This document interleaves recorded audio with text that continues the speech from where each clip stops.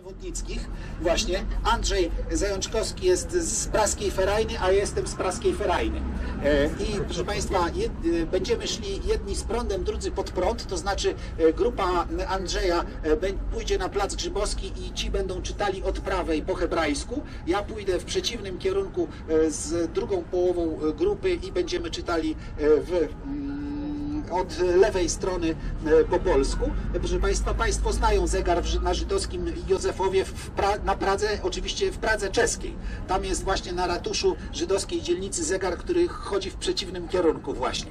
E, Więc tu będzie podobnie. Natomiast proszę Państwa, my tu jeszcze musimy zachować taki modny w dzisiejszych czasach parytet. To znaczy chodzi o to, że żaden z nas nie może być pokrzywdzony, że ma mniej zwiedzających, bo będzie płakał. My to dokładnie potem sprawdzimy, więc proszę, proszę nas nie przyprawiać e, o stan depresji. No właśnie, także tyle. Program jest ten sam, tylko po prostu e, kółeczko będzie w przeciwnym kierunku. Dobrze? To w takim razie już oficjalnie. Dzień dobry Państwu, kłaniam się w imieniu e, Green Cafe Nero, która e, zorganizowała ten spacer i oczywiście festiwalu Singera, w ramach którego się ten e, festiwal odbywa. I Andrzej i ja jesteśmy z ekipy przewodnickiej prawobrzeżnej, ale oprowadzającej też po lewym brzegu. Nazywamy się Praska Ferajna. Robimy cztery wycieczki w każdy weekend, dwie prawobrzeżne, dwie lewobrzeżne. To jest akurat pozaprogramowa nasza wycieczka, ale zanim polecimy jeszcze do tej wycieczki, to proszę Państwa dwa słowa, bo za, wrócimy tutaj mam nadzieję na Plac Grzybowski jeszcze, jak Państwo oczywiście w miarę szybko będą się posuwać. E, Jak, ile Państwo tam mają na 800 metrów? E, Słabo. nie dobrze, słabo. To może, to może nie wrócimy. E, Natomiast e, ten plac Grzybowski e, nazwa, nazwę bierze od Jana Grzybowskiego, mm, takiego mm, e, starosty warszawskiego, który tutaj w 1650 roku założył jurydykę, czyli prywatne miasteczko. No bo stare miasto i nowe miasto to oczywiście miały swoje ratusze i tak dalej, ale wokół tego powstawały prywatne miasteczka właśnie ze swoimi ratuszami i tak dalej, i tak dalej. E, I stąd właśnie nazwa Grzybów. E, Ona, ta jurydyka powstała na grunt, y, na takim miejscu, gdzie są rozstajne drogi y, wiodące gdzieś y, w kierunku Zamku Ujazdowskiego, jedne w kierunku Starego Miasta, inne, inne jeszcze gdzieś w, w kierunku daleko gdzieś w Polskę. No i ta jurydyka sobie tutaj funkcjonowała nawet pod koniec wieku XVIII, no w latach 80. jurydyka dorobiła się, proszę Państwa, e, ratusza. Zaraz Państwu ten, e, ten ratusz tutaj pokażę. No, w każdym razie e, ta jurydyka e, na początku XIX wieku była e, za, jak to się mówi, e, zabudowana takimi niewielkimi e, budynkami, które e, miały no, góra jedno, e, czasami dwa piętra, e, no i to było wszystko. I te budynki e, właśnie jeszcze częściowo istnieją, natomiast e, później, już lata 60. zaczęto budować e, Kościół Wszystkich Świętych, największy kościół Warszawy. Jeszcze później zaczęto wznosić duże kamienice, no i to ten plac zaczął się zaludniać, ale jedna ważna rzecz, na tym placu było dużo ludności żydowskiej właśnie, szczególnie tutaj handel żelazem się tutaj pojawił i tutaj była taka, taka opinia z e, pana Władysława Pawlaka, e, który dobrze te sprawy m, e, znał, bo sam e, pochodził właśnie e, z żydowskiej rodziny w sierocińcu Korczaka się częściowo wychowywał. Mm, Otóż e, pisał tak, nalewki sprzedawały koronki, wyroby galanteryjne i ponczosznicze. Gęsia handlowała manufakturą moskiewską i łódzką. Manufakturą, czyli po prostu tekstyliami, byśmy powiedzieli. Franciszkańska kupowała radomską skórę. Grzybów natomiast handlował żelazem. Obok Neufelda wyróżniał się nowy bogacz handlarz żelaza Prywes. Mówiono tyle znaczy, co gwóźdź u Prywesa. O tej rodzinie Prywesów jeszcze sobie wspomnimy, no ale w każdym razie było tak, że e, ci Żydzi ortodoksyjni, którzy tutaj mieszkali, to e, raczej e, starali się chodzić plac jest trójkątny, tymi dwoma bokami, przy których nie ma kościoła po prostu. No, wiadomo. Natomiast handel e, żelazem przetrwał tutaj nawet e, to, że e, ogromna większość Żydów została warszawskich wymordowana e, w czasie e, Holokaustu. E, Większość tych, którzy przeżyli, wyjechała, a mimo wszystko geniusz loci powoduje, że w dalszym ciągu handel jeszcze e, gwoźdźmi, wiadrami, sznurami, tego rodzaju rzeczami e, tutaj jest e, w dalszym ciągu e, obecny. Natomiast e, w mm, na przełomie XIX i XX wieku, to tutaj była taka, mm, takie miejsce, gdzie mieszkali y, tradycyjni, konserwatywni warszawscy Żydzi, uważający się za takich właśnie e, ober warszawskich, e, patrzący z góry, jak to się teraz mówi, na słoików i innych takich modnisiów, którzy tutaj przyjeżdżają czasami z prowincji, e, zapinali się na drugą stronę, tak proszę Państwa, bo my się zapinamy na taką stronę, która była przez konserwatystów, ja mówię tutaj o panach, panie, panie odwrotnie, e, wyśmiewana e, w, e, pod koniec XIX wieku, no bo właśnie zapinanie na tę drugą stronę zrobiło się modne. Natomiast, mm, a Państwo wiedzą skąd to się wzięło? No bo kiedyś to służący zapinał e, swojego, że tak powiem, pana, tak? E, I musiał, musiał mieć wygodnie, a jak ktoś się już musiał zapinać sam, no to trzeba było zmienić stronę zapinania, tak nawiasem mówiąc. E, więc, e, więc to stąd. Natomiast Wracając do sprawy, to tutaj właśnie te tradycyjne rody mieszkały i tutaj na przykład nie pojawiali się tak zwani Litwacy. Państwo wiedzą, kto to był? Otóż, proszę Państwa, e, to jest tak, że e, tak naprawdę w Rosji do czasów e, rozbiorów Polski to prawie nie było ludności żydowskiej.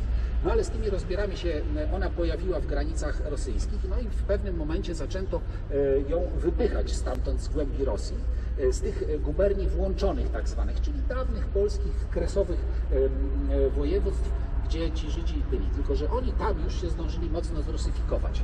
I oni e, e, wypchnięci carskim ukazem do kongresówki tutaj, nagle przyjeżdżają tutaj. To byli Żydzi, którzy nie znają polskiego, w ogóle nie wiedzą, co to za Polacy tutaj mieszkają, co to za dziwny naród mówiący jakimś takim dziwnym językiem.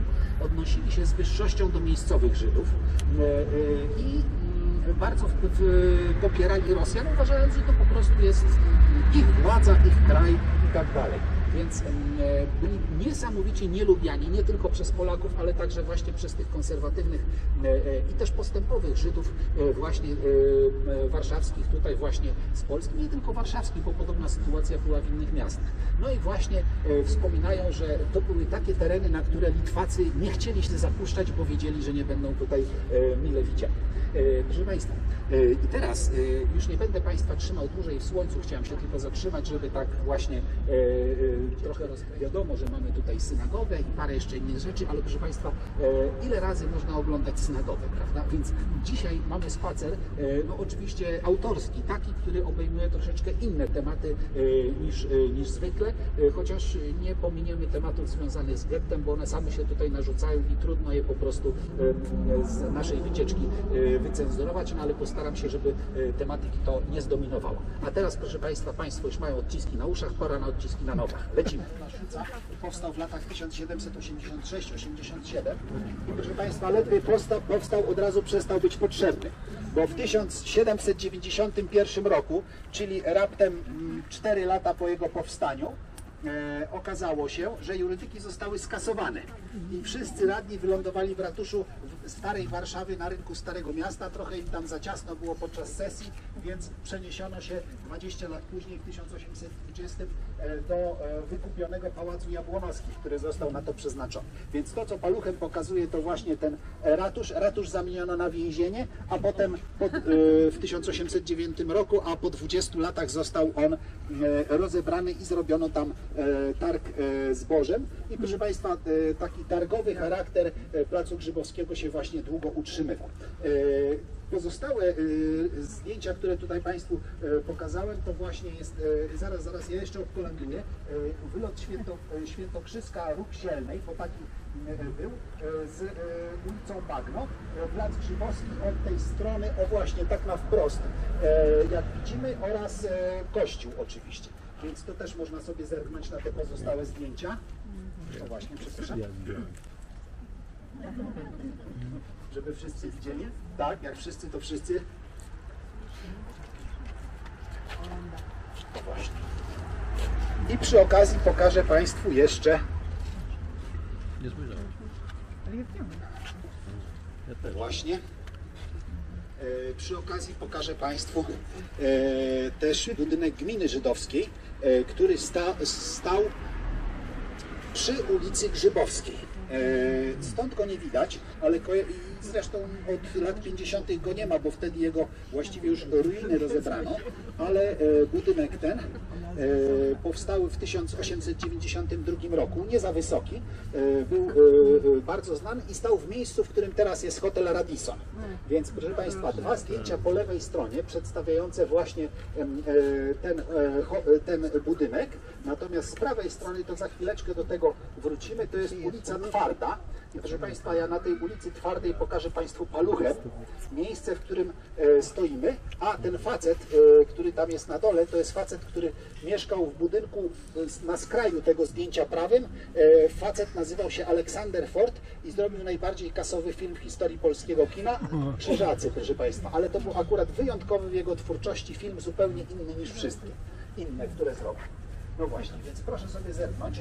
Ten budynek gminy żydowskiej i pod spodem e, gmina żydowska po prawej u góry, natomiast po prawej na dole jest po prostu powiększony fragment. To jest takie zdjęcie jakiejś grupy, która tam się sfotografowała przed budynkiem gminy, ale nas akurat nie grupa tutaj interesuje, e, tylko właśnie portal, czyli mm, obramienie wejścia do tej e, do tego budynku gminy. I teraz, proszę Państwa, tak. Ja będę musiał tutaj uciec się do małego, ale drastycznego przykładu. No właśnie. E, otóż, proszę Państwa, e, bo e, wiele osób postrzega e, Żydów jako taką bardzo spójną, wspierającą się zawsze we wszystkich sprawach grupę. Otóż, proszę Państwa, nic bardziej błędnego. E, mój znajomy z e, Łodzi akurat e, jest przyjacielem byłego już chyba łódzkiego Podrabiego, który któregoś razu tak skomentował coś tam zasłyszane. Mówi, Panie, jaki żydowski spisek? Życie między sobą to tak się kłócą, że tam co chwilę wojna domowa by była. No i proszę Państwa, drobny przykład. Jest 23 listopada 1923 roku.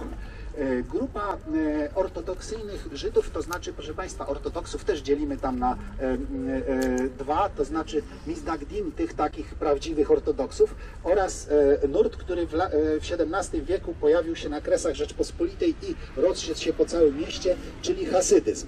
No i hasydzi właśnie przez tych prawdziwych ortodoksów są traktowani jako tacy, którzy sobie tam odpuszczają przykazania, dziedziczą stanowisko rabina, co w normalnym judaizmie jest bardzo źle, źle widziane, e, a poza tym żyją w ostentacyjnym bogactwie, bo normalnie rabin to tak jak, proszę Państwa, jak pastor, ja akurat protestantem jestem, to mój kolega biskup mówi, że musi mieć taki samochód, jak jest średni samochód e, jego wiernego, tak? jak, jak jest w danej parafii. Tak?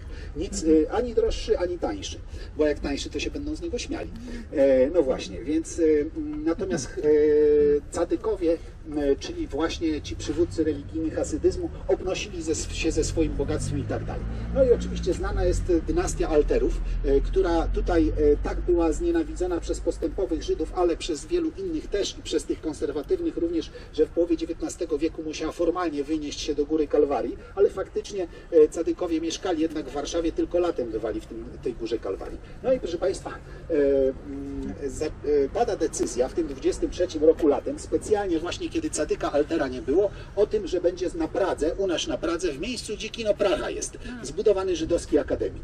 No i ta budowa już się tam ma zacząć, ale właśnie ortodoksi się o tym dowiadują, e, to znaczy nie tyle dowiadują, co informują mm, cadyka Altera, który tutaj wrócił i e, jego zwolennicy tego 23 listopada wpadają do budynku gminy żydowskiej i zaczynają wywalać, e, demolować meble, wyrzucać obrazy, bo to przecież grzech namalować obraz postaci. W przykazaniach jest napisane, że nie wolno. Więc wyrywają obrazy z ram, wyrzucają przez okno. E, No oczywiście pracownicy e, gminy żydowskiej się bronią. E, Walka. Wzywana jest policja państwowa z komisariatu najbliższego i po prostu nie jest w stanie rozdzielić walczących. Dopiero wezwano posiłki, jak to się mówi, z Golędzinowa, ale przed wojną był też tam taki specjalny oddział policji państwowej do rozdzielania e, demonstracji, e, znaczy do walki z demonstrantami. Dopiero oni, jak przyjechali do tego budynku, byli w stanie rozdzielić obie walczące grupy. E, Dla Żydów e, właśnie e, tych konserwatywnych po prostu na przykład uprawianie sportu już było, było ogromnym grzechem, ale już samo studiowanie na świeckich uczelniach. I na przykład w takim Lwowie, gdzie wpływy hasydyzmu były bardzo słabe, akademik powstał w 1868 roku i nie było problemów. W tym samym czasie budowano bez problemu akademiki w Katowicach i w Krakowie, a w Warszawie, gdzie ten hasydyzm był bardzo mocny, no właśnie spowodował awanturę. Akademik miał powstać tuż koło synagogi i em, koło Mykwy, no i sierocińca. No i po, po wielkiej awanturze i po godzeniu obu stron przez e, Mojżesza, profesora Mojżesza Szora, późniejszego zresztą przewodniczącego gminy, e, wreszcie udało się znaleźć, uwaga, w trzy tygodnie inny plac jeszcze e, pieniądze na to, 9 tysięcy dolarów, bo wtedy była hiperinflacja i wszyscy to się rozliczali w, w obcych walutach. E, e, No 9 tysięcy dolarów i przypomnę, znany Szmonces, e, tylko połowę w gotówce, na resztę zwolnienie od protestu od Ciebie. To znaczy 3 tysiące było w gotówce, a 6 w jakichś tam różnych obietnicach, ale kupiono ten budynek, no i w dwa lata powstał akademik żydowski u nas na Pradze, który doskonale znamy. Ale proszę Państwa, takie rzeczy odbywały się właśnie i raczej o nich się mało pamięta, tak postrzegając, że to taka, jakby to powiedzieć, przeważa taka narracja bardzo uładzona, przylizana i tak dalej. A konfliktów było oczywiście mnóstwo i na przykład było też tak znowu praską sprawę wyciągnę, że e, zmagazynowane notabene w budynku Mykwy Praskiej e, stroje sportowe oraz literaturę sportową należącą do klubu Maccabi, uwaga, w Wigilię Bożego Narodzenia, oczywiście wiadomo, wtedy jest Hanuka u Żydów, po prostu w nocy ktoś się włamał i zdemolował to wszystko, zniszczył te stroje, tak uważając, że sport dla Żydów jest rzeczą grzeszną. Natomiast syjoniści e, uważali, że właśnie należy e, tężyznę e, fizyczną em, szerzyć i tak dalej. Więc proszę Państwa, taka mała opowieść o tym budynku gminy żydowskiej. Zwykle to opowiadam bardziej pod akademikiem, e, ale teraz jest okazja opowiedzieć to w pobliżu budynku gminy. No tam już nie podchodzimy, bo tak jak mówię, e, budynku nie ma, no ale Państwo na zdjęciach mogli go sobie zobaczyć. Dobrze, a teraz idziemy kawałeczek nieduży dalej. Nie, nie żartuję, tak, bo to najlepsze, proszę Państwa. E, e, dźwięk słabnie z kwadratem odległości, więc wystarczy czasami półtora metra do przodu, żeby bardzo mocno poprawić sytuację. E, I właśnie tak patrzę, żeby tutaj z tego, z cienia nie wyjść. Otóż, proszę Państwa, po drugiej stronie tramwaj nam trochę zasłania, ale widzimy dwie takie kam- kamienice. Ta z prawej to jest kamienica Dawida Berlinenblaua, m, który razem z Meirem Blasem miał także kamienicę przy Zamenhofa. E, Dlaczego mówię o tym Meirze Blasie? Bo jeszcze ten e, współwłaściciel się tutaj e, pojawi. Natomiast Blas też miał kamienicę przy, przy Miłej 20. E, W tej kamienicy, e, tej prawej właśnie, e, urodził się w 1893 roku e, ksiądz Skorupka, no znany oczywiście z e, bitwy warszawskiej 1920 roku. No i dlatego ta kamienica jest zachowana jest e, w, e, we w miarę dobrym e, stanie. Natomiast obok jest taka kamienica, e, której, o której mówi się, że ona należała do Lejba Osnosa. Uwaga, Osnosa przez N jak Natalia, a nie przez M jak Osmoza. Nie, nie, e, tam M nie ma, chociaż konserwator zabytków nawet w dokumentach taki błąd popełniał. Więc mm, e, Lejb Osnos w pewnym momencie e, miał kłopoty finansowe w latach 30. e, No i musiał e, część tej kamienicy dać pod zastaw zresztą swojemu lokatorowi Haskielowi e, Fraj, e, e, Frajertagowi. No i e, ten Frajertag stał się współwłaścicielem tej kamienicy w pewnym, w pewnym momencie. A właśnie, ja tak patrzę, co ja tak przecież nie ruszam się, a tu proszę Państwa tak szybko słońce wychodzi za tego, za wieżowca. No dobrze, ale to już zostańmy tutaj na tę chwilkę. Otóż, proszę Państwa, wracając do sprawy kamienicy, to sam Lejposnos zmarł zostawiając to swojej wdowie, która tam usiłowała dojść do porozumienia z wierzycielami, bo do, i doszła, ale na budynku by- było, były różne zaległości podatkowe. No i sprawa mm, przeciągnęła się przez wojnę i co ciekawe kamienice udało się, proszę Państwa, e, e, upaństwowić dopiero w latach mm, e, 60. E, No i proszę Państwa 1967, czyli no ten proces dość długo trwał, coś tam było zagmatwane. No i kamienica do 2009 roku była zamieszkana. Były tam różnego typu sklepy na parterze i tak dalej. No i oczywiście punkty usługowe i kto pamięta jeszcze bar Rondo. Taka, taka speluna tam była swego czasu opisana przez Jerzego Sosnowskiego w powieści e, Apokryfa Głai, nawiasem mówiąc, ale to już tematy zupełnie e, z innego e, terenu. No i proszę Państwa, ciekawostka. O kamienicy pisze się, że powstała w 1911 roku, ale wychodzi na to, jak się przyjrzeć dobrze mapom, że w 1911 roku to powstało to, co widać od tej strony, czyli od ulicy Ciepłej i od ulicy Twardej, czyli ten ścięty narożnik. Natomiast to, co mm, e, było od mm, ulicy y, Prostej, to powstało już, to znaczy już na pewno stało w roku y, 1797.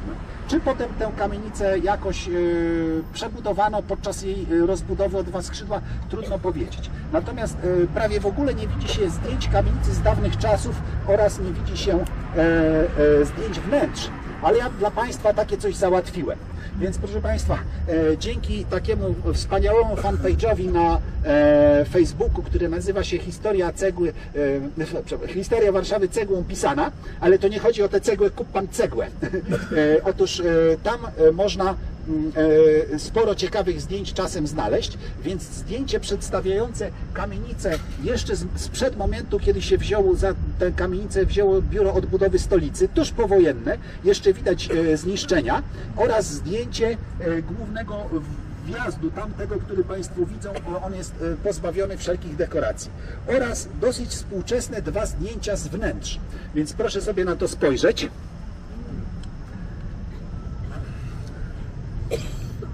O właśnie. Ja tam może obiegnę te kolejne rzędy. O właśnie, może jak z tej strony będę pokazywał, to będzie lepiej.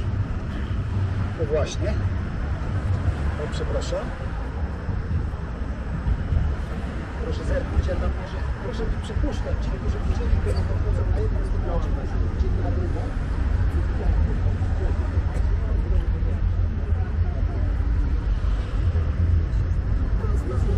Widać, że kamienica jest bardzo luksusowa. E, Jeszcze dodam, że tam są posadzki zrobione z bardzo e, dobrego drewna, e, bardzo piękne wzory układane. Oczywiście spiłki, e, oczywiście e, elementy snycerki e, drzwiowej, stola, e, okiennej, stolarki i tak dalej, i tak. To wszystko było na najwyższym poziomie. No ale niestety, e, zanim ją tam zabezpieczono, mnóstwo chuliganów i tak dalej się tam, proszę Państwa, e, dostawało. No i e, kamienica jest własnością e, miasta Warszawy i jest w zasobach mieszkaniowych dzielnicy Wola i jakoś nie ma woli, żeby coś z nią zrobić. Natomiast mm, tutaj jeszcze o jednej rzeczy chcę powiedzieć, o kamienicy, która stała o dokładnie gdzie ten trawniczek jest, to znaczy trochę bardziej z lewej strony, bo ona stała po drugiej stronie ulicy Twardej. E, Myśmy szli twardą, ona trochę jest naprostowana, kiedyś ona szła dokładnie tak, jak Państwo widzą, e, ten ścięty szczyt kamienicy to jest właśnie równoległy do ulicy Twardej. Więc proszę Państwa, to zdjęcie, które już Państwu pokazywałem i tam stała taka kamienica pod numerem 21, o właśnie, jeszcze raz to pokażę. To jest ta kamienica, która, sto, e, która jest po prawej stronie górnego zdjęcia prawego, czyli tam, gdzie moje palce.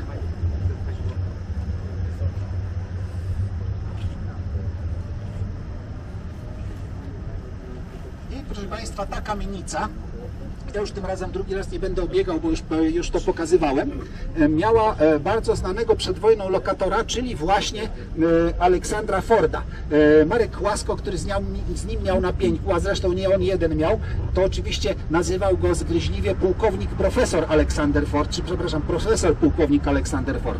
Naprawdę nazywał się Moshe Liwszyc. Ford to było nazwisko, które e, artysty filmowego, kiedy za, zainteresował się filmem. Ford tak naprawdę nie miał specjalnego e, wykształcenia e, filmowego, ale okazał się w tym niesamowicie zdolny. Już jego pierwsze etiudy, bardzo artystyczne, kręcone w latach 20., wykazywały, że e, ma bardzo niekomercyjne, ale też bardzo takie na wysokim poziomie artystyczne spojrzenie na film, no tylko tyle, że na przedwojennym rynku nie bardzo mogło się to przebić. No i większość jego filmów albo e, dosyć szybko e, była wycofywana z eksploatacji, albo do niej nie wchodziła, albo żądano przemontowania i kończyło się to tak, że no, film e, wystawiano w takiej wersji, na którą Ford by się nie zgodził. Ford był e, przed wojną e, komunistą zapis, e, i e, robił takie filmy e, bardzo e, lewicowe, propagandowe. On się sprzeciwiał nie tylko nacjonalizmowi, ale też na przykład syjonizmowi jako, jako ideologii, bo uważał, że właśnie religie, te narodowości to niepotrzebnie ludzi dzielą.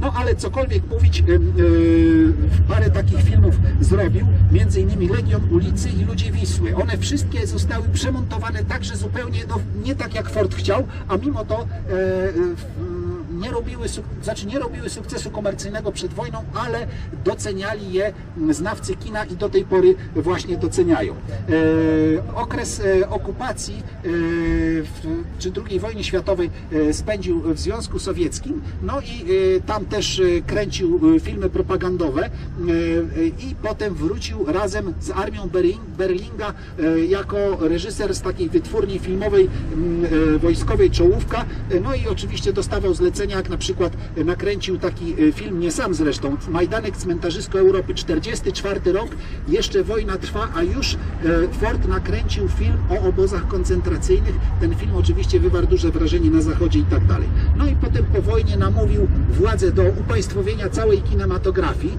co oczywiście było ze szkodą dla niej, ale z korzyścią dla, dla Aleksandra Forda.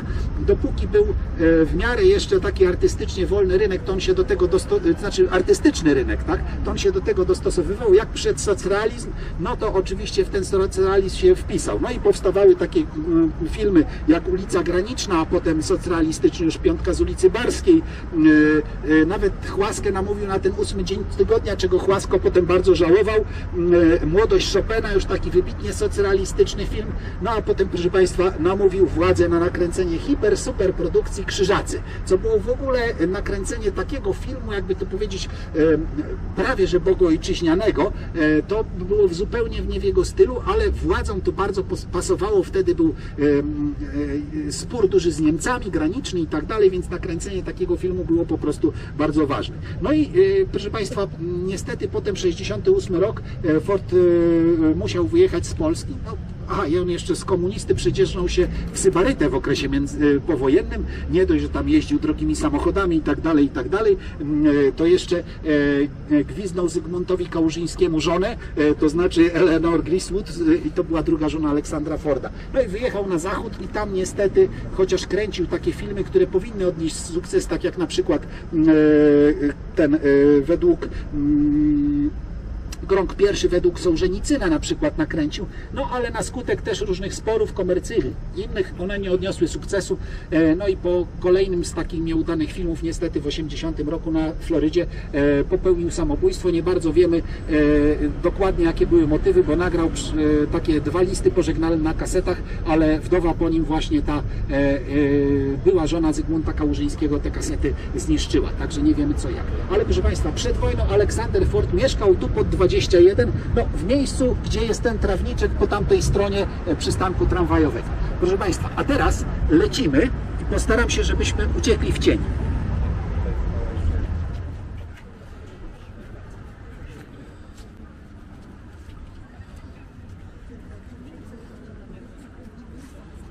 O, proszę Państwa, tu już chyba ciszej.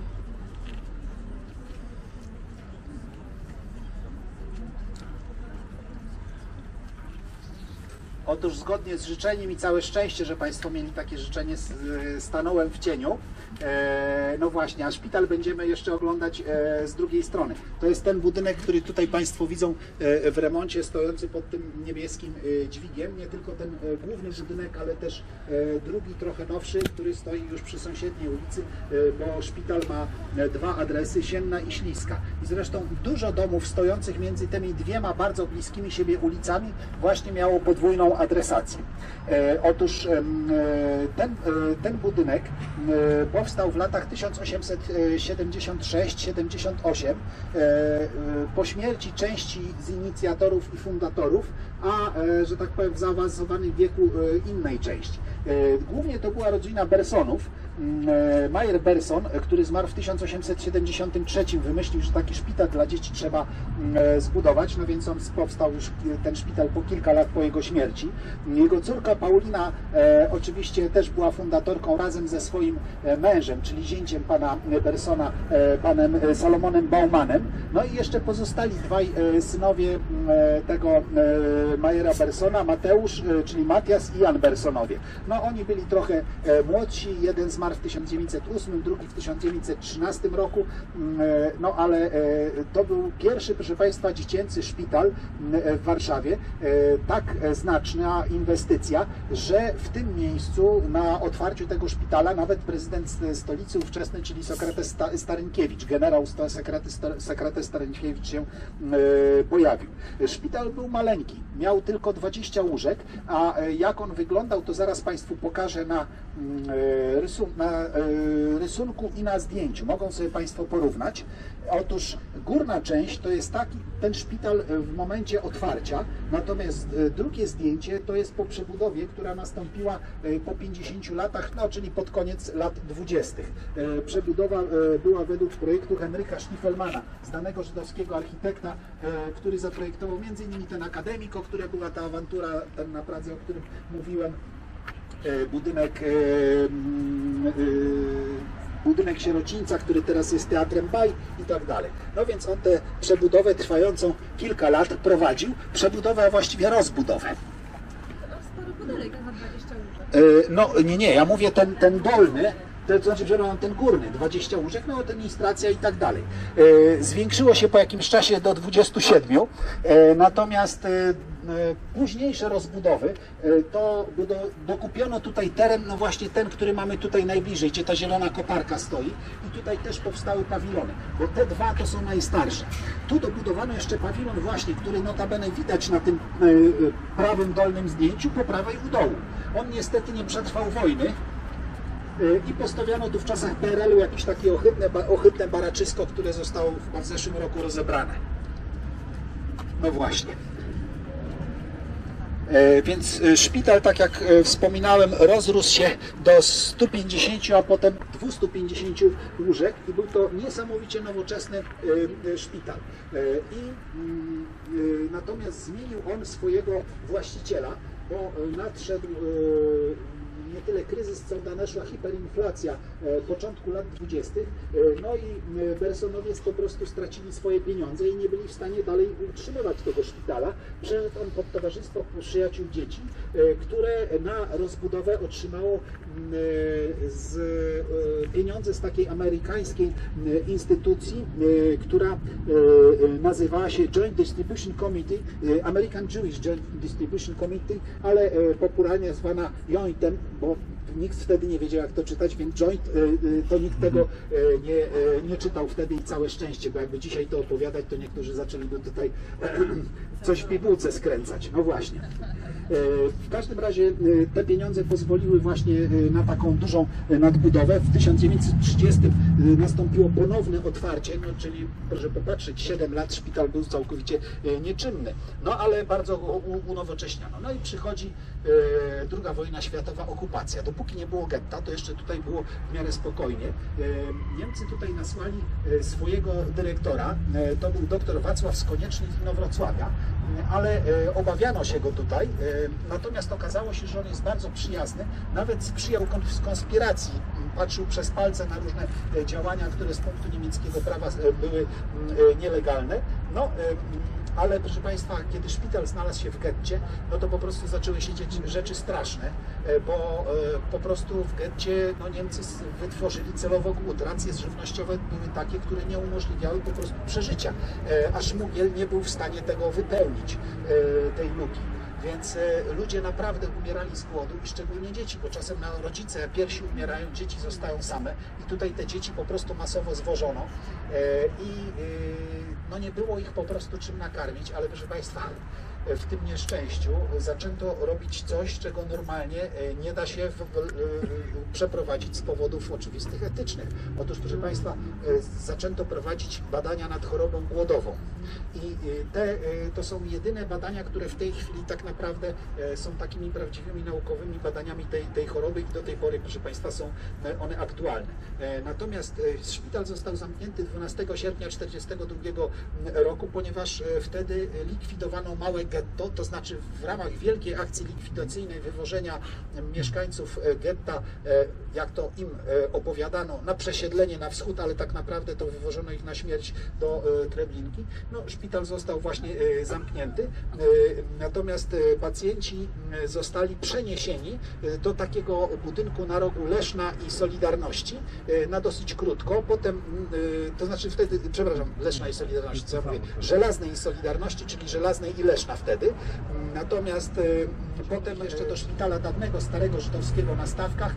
No i niestety koniec końców był taki, że większość tych pacjentów też wywieziono e, do, do Treblinki. Natomiast ponieważ personel szpitala zdawał sobie sprawę z tego, e, że po prostu nie ma ucieczki dla tych dzieci, więc część dzieci poddano tutaj po prostu eutanazji, podając im takie śmiertelne dawki środka usypiającego, żeby po prostu no, nie umierały w jakichś cierpieniach, czy w komorze gazowej, czy zaduszone gdzieś w e, w trakcie transportu. Także no, bardzo trudna, e, e, trudna sprawa. E, I e, w tamtym czasie mm, opiekującą się grupę dzieci była Ani, e, Anna Braude, e, e, Brojde, przepraszam, Hellerowa, której zresztą na tym płocie, widzą Państwo takie, takie zdjęcie, jest widoczne i jest e, e, kawałek jej historii napisany, ale nie chcę już tam Państwa ciągnąć, dlatego że no, spacer ma swoją założoną długość, więc troszeczkę oszczędzam na czasie i zobaczymy sobie za chwileczkę ten budynek z przeciwnej strony, bo pójdziemy na ulicę e, sąsiednią, czyli e, Siedmą, opuszczając e, śliski temat ulicy Śliskiej rzecz ja sobie uświadomiłem, że nie powiedziałem. Oczywiście w tym budynku e, ma powstać Muzeum Getta Warszawskiego. Tak naprawdę ono już jest jego własnością. W 2018 roku e, padła ta decyzja. No i te prace związane są właśnie z tym. Dziękuję za przypomnienie. E, Tak, tak, tak. To znaczy tu w ogóle ma powstać muzeum z dodatkowymi oczywiście budynkami też, tak? Ale te mają być zachowane. No właśnie. E, Też, też, też, też. To, to jest budynek, który zbudowano troszeczkę, e, e, troszeczkę później niż szpital, pod koniec XIX wieku, ale w każdym razie jeszcze on, on też jest elementem zabytkowym szpitala. Czy to jest ten Przypomni szpital, pan- przez który przechodzono, żeby do? E, Nie, dlatego że obie strony były w getcie. Wojną światową to 1913 roku przez kilka lat.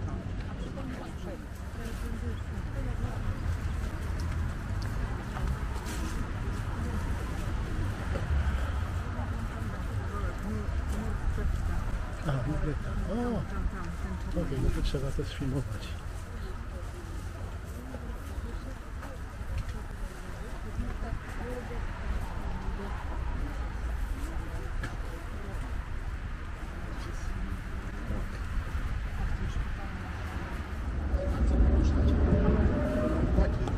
element widoczny w krajobrazie, którego nie można sobie pominąć y, i nie zauważyć.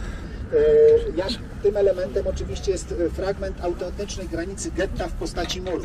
Bo nie zawsze y, granica getta była murem, trzeba powiedzieć. Proszę Państwa, Niemcy kiedy rozważali tworzenie getta, to pierwszym ich pomysłem była Praga ale okazało się, że wymagałoby to przesiedlenia ogromnej liczby osób, no i oczywiście spowodowałoby to koszty także po stronie administracji, nie tylko po stronie tych osób, które są zmuszone znaleźć sobie gdzieś tam e, e, w innej dzielnicy mieszkanie. Więc zrezygnowano, getto w 1940 roku jesienią otwarto na Muranowie, gdzie było największe na- zagęszczenie ludności żydowskiej dochodzącej do 90 kilku procent. Na Pradze to było około 30 procent. Z ciekawostek były takie dzielnice Warszawy, gdzie na przykład jak Brudno, gdzie Żydów mieszkało około 3% tylko. Więc to różnie bywało w różnych, e, e, w różnych dzielnicach. E, Natomiast e, wracając do e, granicy, więc utworzono getto i przekraczać oczywiście granicy nie było wolno poza jakimiś tam wybranymi osobami, które miały z jakiegoś powodu formalne przepustki. No i teraz natychmiast okazało się, że ludzie chcą się przez te granice nielegalnie przedostawać. Początkowo granica biegła na przykład tak, że jeden budynek był w getcie, a sąsiadujący z nim budynek do niego przyległy był poza gettem. No i proszę Państwa, zaraz e, oczywiście pojawił się przemyt na tej granicy. E, zresztą w getcie e, krążył taki dowcip, że pewien bogaty rabin wydawał córkę za mąż i co on jej dał w posagu? Otóż dziurę na aryjską stronę czynną 24 godziny na dobę, bo to była żyła złota po prostu. Tak? Mm, Więc proszę Państwa, tam czasami bardzo drastyczne dowcipy e, krążyły, no ale czasami jest tak, że jak już człowiek nie ma nic innego, po prostu jest taka tragedia, no w jakiś sposób trzeba się po prostu e, pod, e, mm, podtrzymywać na duchu, no i ten humor pozwala jakoś przeżyć. E, Więc proszę Państwa, Niemcy zorientowali się, że to jest właśnie przemyt w takich miejscach i zaczęli zmieniać granice getta w ten sposób, żeby przebiegały one murem stojącym pośrodku ulicy, który można skontrolować z obu stron. Czasami oczywiście było inaczej, czasami było tak, że była ślepa ściana kamienicy, na przykład i kamienica była po e, e, stronie mm, aryjskiej, a e, po drugiej na, wychodziła tylko ślepą, e, ślepą ścianą. E, No było tam jeszcze parę innych takich rzeczy. Granice getta uszczelniano, uszczelniano, uszczelniano, coraz trudniej było ten e, przemy, przemyt robić. Ale też bardzo ważna rzecz, bo proszę Państwa, tutaj mamy taki, taką płaskorzeźbę i wiele ich takich jest w Warszawie w różnych miejscach pokazującą granice getta. To są granice getta z jego początku. Natomiast getto praktycznie w każdym miesiącu zmieniało granice, bo tutaj jakiś kawałek wykroili, tam kawałek wykroili. Mm, e, Zdarzały się odwrotne przypadki, że gdzieś z jakiegoś powodu kawałek aryjskiej strony mm, przeflancowano, że tak powiem, do getta, ale najczęściej odbywało się to kosztem zamiany w, w innym miejscu. Także getto systematycznie, powolutku malało. Oczywiście największe y, takie y, okrojenie getta to było właśnie ta wielka akcja latem 1942 roku, kiedy z 400 tysięcy mieszkańców getta, bo 350 było Żydów warszawskich, e, natomiast sprowadzono tutaj też jeszcze z gett z małych miejscowości, gdzie- trudniej było upilnować ludzi w getcie. Więc e, z, z tych 400 tysięcy, 300 tysięcy wysłano e, właśnie do komór gazowych Treblinki, a mm, e, pozostali to byli najczęściej pracownicy, oczywiście praktycznie darmowi niewolnicy w różnych niemieckich firm, tak zwanych shopów na terenie, na terenie getta. Więc wtedy getto małe, czyli to na terenie, którego jesteśmy, gdzie były najbogatsze domy, gdzie mieszkali najzasobniejsi ludzie, gdzie ta bieda była naj, najmniejsza stosunkowo, e, zostało po prostu w pewnym momencie e, z getta wyłączone. Ta e, ulica Sienna została z getta wyłączona w 40, e, e, w 41 roku na przykład. Także proszę pamiętać, że ta mapa nie pokazuje całej prawdy, tylko pokazuje po prostu największy zasięg getta, a nie taki, jaki był na przykład pod koniec jego istnienia w 43 roku wiosną. Dobrze, proszę Państwa, lecimy teraz na ulicę Sienną. Z lewej strony mogą Państwo zobaczyć e, tabliczkę mówiącą, że tutaj e, w okresie powstania warszawskiego e, były e, kwatariony, e, kw- kwatery batalionu mm, batalionu Chrobry 2, nie Chrobry, bo batalion Chrobry praktycznie cały zginął pod grozami Arsenału i e, pasażu Simonsa w końcu sierpnia 1944 roku. Natomiast tutaj akurat to był batalion Chrobry 2, który bronił całego tego e, e, terenu. Natomiast e, e, sam budynek jest e, bardzo ciekawy, bo odnowiono go e, tak, żeby wyglądał e, właśnie jak, jak przed wojną. E, Zbudowany został dla Henryka Icersa i Stanisława Borowika, a zaprojektowało go e, dwóch takich bardzo znanych em, e, architektów, e, Jerzy e, e, Sigalin i e, e, e, Gelbart, e, który tutaj mieszkał e, właśnie przy e, budynku, e, znaczy, przepraszam, Roman Sigalin i Grzegorz Gelbart, e, Jerzy Gelbart. Mi się myli, tych Sigalinów było trzech zresztą, e, wszyscy trzej architekci. E, No właśnie, więc proszę Państwa, mm, on, e, zresztą sam Gelbart mieszkał w sąsiednim budynku, o, to, o czym za chwileczkę. Natomiast e, to był budynek postawiony po prostu e, na zamówienie tych e, dwóch e, właścicieli i mm, e, w pewnym momencie, kiedy tutaj już było getto i właśnie było, było tu takie lepsze getto, e, to e, tutaj, w tym miejscu e, była taka kawiarnia Capri dla lepszego towarzystwa z wysokimi cenami i tak dalej, i tak dalej. To właśnie były miejsca, gdzie mimo biedy, głodu, etc., ci, którzy tam mieli duże zasoby finansowe, mogli się poczuć, że tak powiem, swobodni. Kamienica jest zaprojektowana zgodnie ze standardami warszawskimi, to znaczy wejście do głównych, czy z przyzwyczajeniami warszawskimi, e, wejście do mieszkań jest przez e, coś, co wygląda jak na przejazd bramny. To oczywiście da się tędy przejechać, ale tak naprawdę to jest e, taki hol mający postać, mają postać przejazdu bramnego. To jest dziedzictwo e, rosyjskich przepisów meldunkowych, tak naprawdę, że kamienice warszawskie czy łódzkie mają właśnie takie bramy, przez które wszyscy wchodzili, nawet ci do eleganckich mieszkań i z tego powodu te bramy musiały być e, bardzo reprezentacyjne, no i się do tego e, warszawiacy przyzwyczaili. Kiedyś te przepisy nie obowiązywały, to w dalszym ciągu żądali, żeby właśnie wejście do tych najlepszych mieszkań było z bramy, bo do tego się lokatorzy przyzwyczajali. Natomiast tutaj widzą Państwo bardzo charakterystyczną rzecz dla architektury Gelbarda i Sigalina, wykusze, czyli takie wystające przed e, licą muru e, kawałki pokojów. E, Jak takie coś wystające sięga do samej ziemi, to się nazywa ryzalit. A jeżeli jest nadwieszone, tak, to się nazywa właśnie wykusz i wywodzi się ze średniowiecznej architektury obronnej e, ta nazwa, ale to oczywiście służy tylko do tego, żeby można było sobie e, wyjść, e, znaczy wyjrzeć na ulicę, spojrzeć w lewo, w prawo, bez otwierania okna zimą i tak dalej. Więc Gelbart i Sigalin stosowali to rozwiązanie bardzo często aż do końca prawie lat 30. E, Gelbart podczas studiów w paryskiej École de Beaux-Arts podpatrzył to, bo on tam był w latach 20. em, u takiego e, fran, e, francuskiego architekta e, Michela Rouspins i zastosował praktycznie wszędzie. I jeszcze druga charakterystyczna rzecz jest takie wałeczki pod parapetami, widzą Państwo. Tutaj albo wgłębienia, albo wałeczki. To właśnie po tym można poznać realizację Gelbarda i Sigalina, bo takie wykusze oczywiście stosowali i y, także inni architekci, ale tu mamy właśnie y, y, wałeczki. Natomiast sam Jerzy Gelbart, proszę Państwa, mieszkał w sąsiedniej kamienicy, y, bo y, sam ją dla siebie zaprojektował i zrobimy parę kroków w tamtą stronę. Zapraszam tutaj.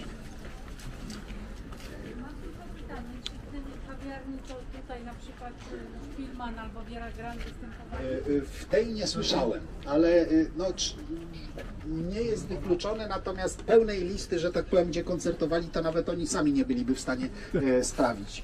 Dobrze, proszę Państwa, natomiast e, wracając e, do architektury przedwojennej, modernizmu, to tutaj mamy zupełnie inne rozwiązanie. Z zewnątrz wygląda podobnie, wykusz i tak dalej, tylko że niestety ta kamienica została spaskudzona.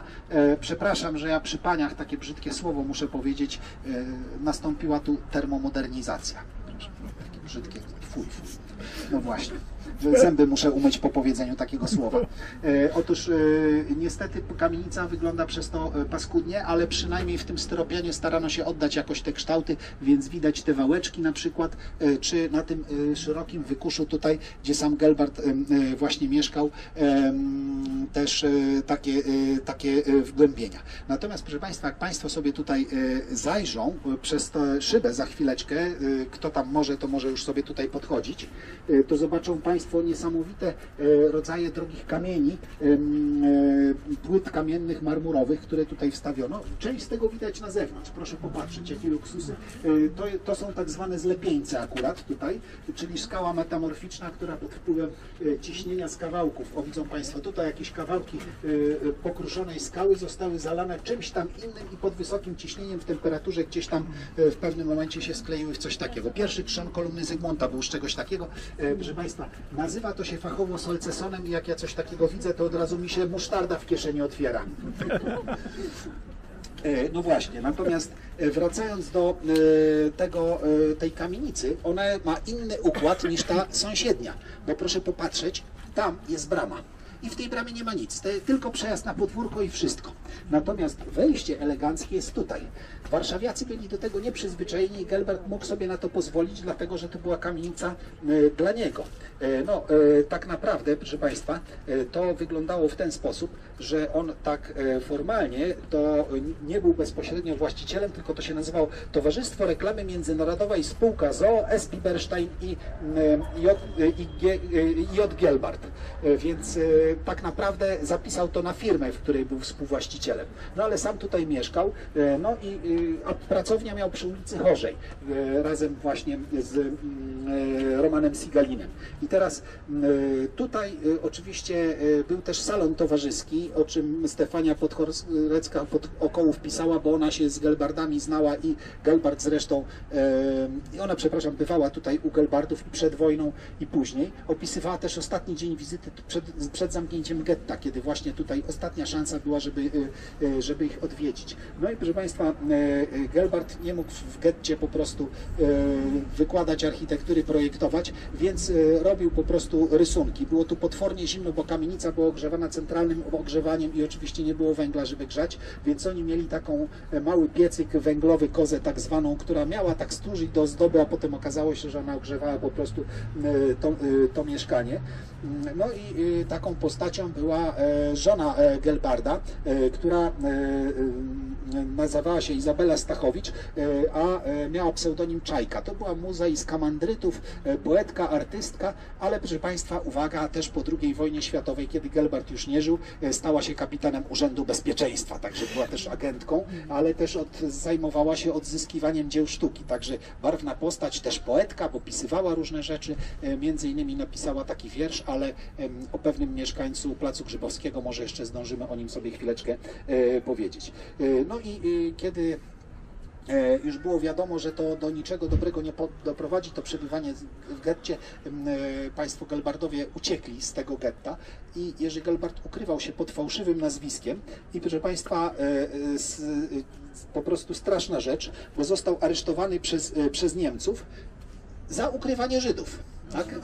I Niemcy nie zorientowali się, że sam jest Żydem, ale wysłali go e, do obozu w Majdanku i tam niestety został, e, został zabity, e, a Niemcy do końca nie orientowali się, że właśnie, że to jest niestety Żyd, również w tym sensie, że nie, nie połapali się. To był częsty przypadek z tego mm, e, mm, czasu. E, Na przykład w Hucie Szkła Wołomin ukrywał się jeden z artystów późniejszego STS-u, też żydowskiego pochodzenia, który wyszedł z getta i on opowiadał, że Niemcy się tak przechwalali tam pracujący, że oni to Żyda to z daleka poznają i w ogóle wywąchają z kilometra, a mówi, że on się śmiał w kółak, bo połowa tych ludzi pracujących w tej Hucie Szkła Wołomin to właśnie byli właśnie ukrywający się Żydzi. No właśnie, dobrze, proszę Państwa. Jeszcze jedna ciekawa historia, związana tak trochę pośrednio, ja pretekstowo Państwa zabiorę do sąsiedniego domu, bo chciałem przypomnieć o takiej ciekawej postaci, o której w Warszawie się prawie nie mówi, chociaż była z Warszawy się mówi, mający y, dużo różnych inwestycji. Niektóre kamienice miał wyłącznie zapisane na siebie, w niektórych był e, wspólnikiem, współudziałowcem. E, Między innymi dwie kamienice na Pradze przytargowej pod numerem 38 i 40. Ma takie ładnie odnowione seledynowe. No i dwie kamienice tutaj, jedna XIX-wieczna, tam mogą Państwo kafelki zobaczyć w bramie, ale one są zupełnie współczesne, więc proszę się tam nie ekscytować za bardzo. I druga modernistyczna, kto wie, czy też nie projektowana przez Gelbarda Sigalina, nic mi o tym nie wiadomo, to jest tylko takie podejrzenie. Bo akurat Gelbard i Sigalin przy tej ulicy jeszcze dwie inne kamienice zaprojektowali, które zobaczymy, bo one są po drugiej stronie e, Jana Pawła, też sobie tam pójdziemy.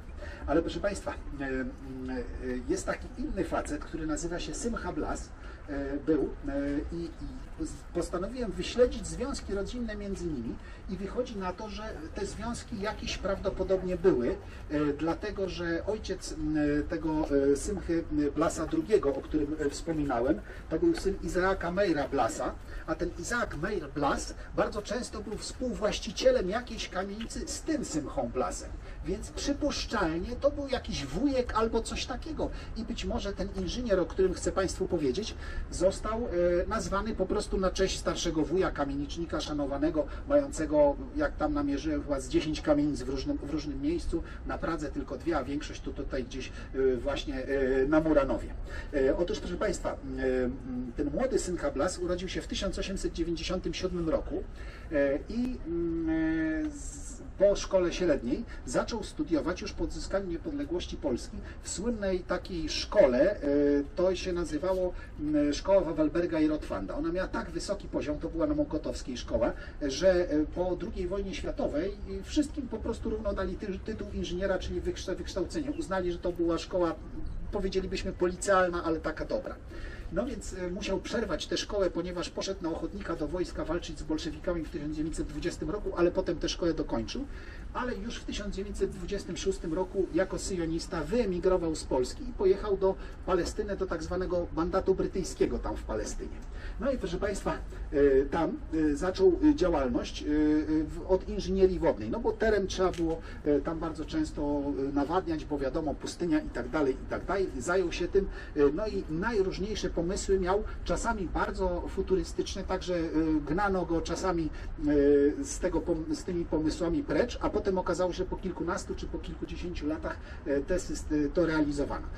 Kto tam z Państwa się sprawami interesuje, to wie, że rzeka Jordan została za przeproszeniem zawrócona i to właśnie był jego pomysł, e, żeby e, z rzeki Jordan, to znaczy zamknąć ją i e, skierować tę całą wodę do nawadniania kul Izraela. Oczywiście była straszna awantura, Jordania chciała nawet wojnę przez to rozpętać. No też nie możemy zobaczyć miejsca, gdzie Jezus został ochrzczony przez Jana Chrzciciela, bo tam nie ma wstępu, bo ten Jordan już tam nie płynie i się w ogóle grunt zarywa w tym miejscu. Także to oczywiście nie jest tak, że to ma same pozytywne aspekty, ale w każdym razie Simcha Blas takie coś wynalazł jeszcze przed II wojną światową, a zrealizowano to e, po II wojnie światowej. E, W czasie wojny o niepodległość Izraela to nawet granatniki konstruował. A, przepraszam, zapomniałem powiedzieć, jeszcze jak był w Polsce, w Wojsku Polskim, e, to wynalazł taki specjalny urządzenie do pomiaru siły i prędkości wiatru, które stosowało polskie lotnictwo wojskowe, tak nawiasem mówiąc. To zostało patentowane przez Simchę Glasa.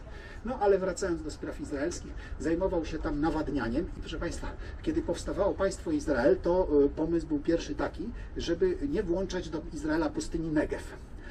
A Simcha Blas y, metodą faktów dokonanych załatwił, że ta pustynia została włączona. Załatwił y, węże strażackie, takie od Brytyjczyków, y, którzy ich dużo tam mieli po II wojnie światowej, bo były potrzebne straży pożarnej w Londynie w czasie nalotów, a potem już nie. Więc on je tanio odkupił i po prostu kiedy dowiedziano się, że pustynia Negev nie ma być włączona, to on szybciutko przez jedną noc na tej pustyni Negev przez tych węży zrobił po prostu system irygacyjny i powiedział, no jak to, nie dacie nam tego? No przecież mamy tam nasze pola nawadniane. I w ten sposób pustynia Negev Symsze, chyba tak się powinno mówić, Szymonowi, po prostu Blasowi, e, należy, proszę Państwa, do Izraela. E, Także bardzo ciekawa rzecz. Po wojnie miał tam pewne konflikty z władzą, która nie zawsze w Izraelu, która nie zawsze chciała jego e, e, e, pomysły realizować. Przeszedł do prywatnej firmy i wymyślił, proszę Państwa, czy raczej wydoskonalił system nawadniania kropelkowego. Przyszedł do jakiegoś sadu, który tam był nawadniany y, y, jakimiś rurami i nagle zobaczył, że tylko jedno drzewo jest zielone. Rozkopał ziemię, okazało się, że tam rura była trochę nieszczelna. I te mikrokropelki wystarczyły. Więc on się zorientował, że trzeba podlewać drzewo malutko, ale we właściwym miejscu. No i zastosował właśnie takie podlewanie kropelkowe i bardzo ważna rzecz, e, wylot tych kropelek, wylot wody był taki sprytnie zrobiony, że nie zapychał się pustynnym pyłem ani, ani piaskiem. No i jego rozwiązania stosuje się praktycznie na całym świecie, wszędzie gdzie się na, nawadnia pustynię. Także mówię, on nie miał, y, to znaczy nie był tym Symchą Blasem, który był właścicielem tych dwóch kamienic, ale przypuszczalnie jakimś jego bratem stryjecznym, czy, czy znaczy nie bratem stryjecznym, tylko bratankiem albo coś takiego, bo tak jak mówię, ewidentnie jest to, proszę Państwa, e, ta sama rodzina. To z takich moich e, prywatnych, niedużych odkryć pewnie Państwo e, raczej, to znaczy Symcha Blas to oczywiście ma hasło w Wikipedii każdej, tylko że po polsku dwu, dwulinijkowe, a w innych e, e, językach to, to są, te hasła są gigantyczne. No właśnie, jakoś nikt się nie połapał, żeby poszukać jego korzeni. Tutaj spróbowałem, jakoś się trochę udało. Dobra, proszę Państwa, e, i teraz mam niedobrą wiadomość, proszę Państwa. Tą samą drogą wracamy do ronda ONZ, przechodzimy na drugą stronę ulicy Siedmej.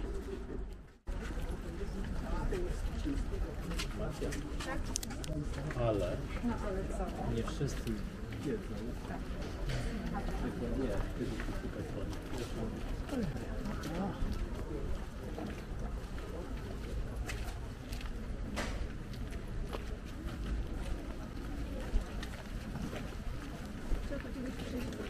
Przepraszam, że tak was zostawiłem, ale co nagrywam, to wiesz, bo to jest, to, to ciekawe, jest ciekawe.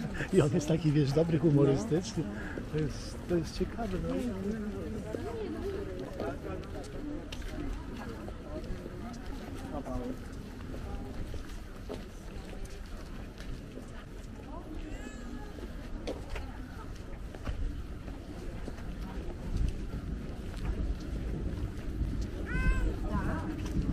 Rzeczy się dzieją w każdym razie. jeśli o to chodzi. Patrzyłem w Niemczech, co się dzieje, to po prostu nie ma pierwszeństwa dla pieszych, wszyscy przejeżdżają. O, proszę popatrzeć, tak jak tramwaj przejeżdża. To my mamy na przykład tu zielone do przejścia, na drugim semaforze zielone, a między nimi jeżdżą tramwaje, dla których nie ma żadnych świateł i mogą przejechać zawsze. Więc no właśnie, u nas to po prostu pierwszego dnia funkcjonowania tego systemu by było z 50 trupów, a w Niemczech jakoś wszystko działa. Dobrze, proszę Państwa, i teraz uwaga, cisza, coś... Dobiegają, dobiegają. O, Stacja Dobiegniew. Tu stacja Dobiegniew, tu stacja Dobiegniew. Pociąg ekspresowy Mewa do Szczecina i Świnoujścia odjeżdża z peronu drugiego. Jak to się stało, że Państwo nie zdążyli? No płacą Państwo fan, to znaczy dla tych, którzy zdążyli, to stawiają Państwo po jednej kawie w Cafe Nero. E, Pan Sławek słyszy, sł- e, e, Pan Sylwester słyszy? Nie ma Pana Sylwestra z kafe. Dobra, proszę Państwa. Dobra, lecimy dalej w takim razie.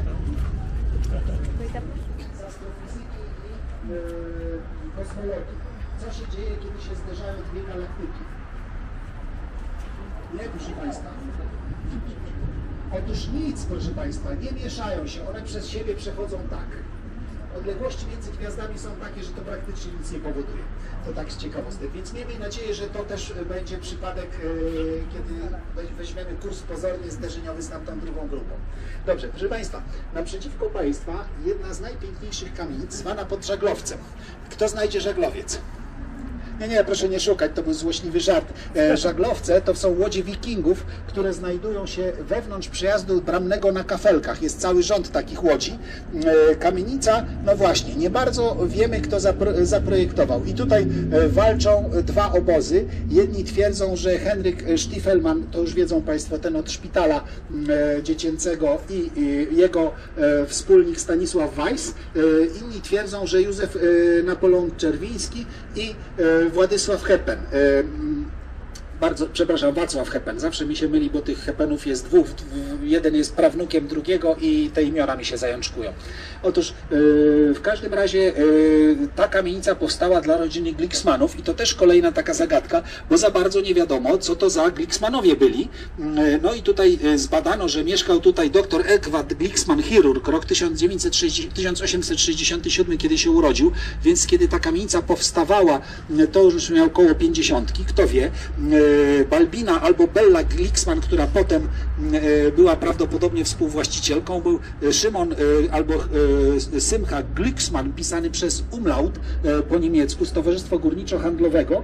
No, yy, natomiast w yy, 1930 roku to ta posesja oraz sąsiednia tam pod numerem 43, ona to była jeszcze jedna taka duża posesja, na której mieściła się firma sprzedająca słupy i belki żelazne, to właścicielką była Justyna Glicksmanowa. I ona e, pozostała też właścicielką tej kamienicy e, pod Żaglowcem w mm, e, roku 1939.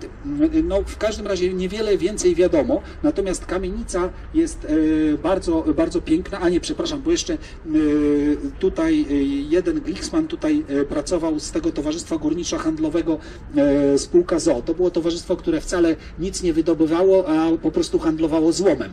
No ale to też jest dochodowa działalność notabene.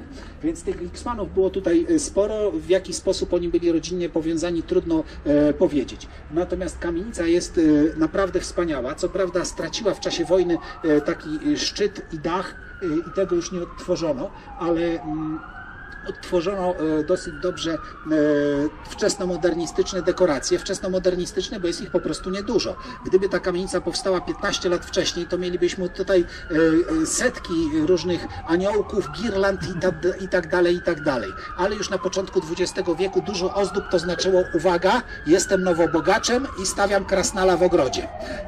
Mniej więcej tego rodzaju znaczenie to miało. Więc powstrzymywano się przed nadmiarem ozdób, co oczywiście doprowadziło do takich prostopadłościennych pudeł e, właśnie projektu e, na przykład, mm, e, jak już wspomniałem, Gelbarda i Sigalina. Proszę popatrzeć w prawo, widzą Państwo te dwie, a może nawet tę trzecią kamienicę, kto wie czy ich, ale proszę jeszcze popatrzeć na to, co jest pod numerem 43 i 43a to też y, ci dwaj, y, y, Gelbart i Sigalin.